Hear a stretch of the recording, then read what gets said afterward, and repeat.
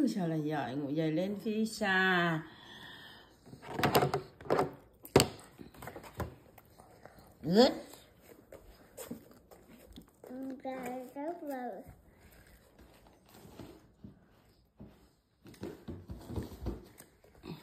good Lawson good là ừ. ở phía xa đi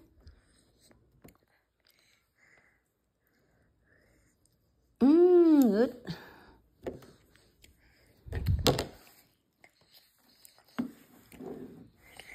uhm. Ngon quá.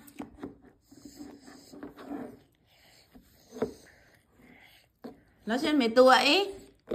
Nó xem mấy tuổi? Nó xem. Đẹp trai nhất.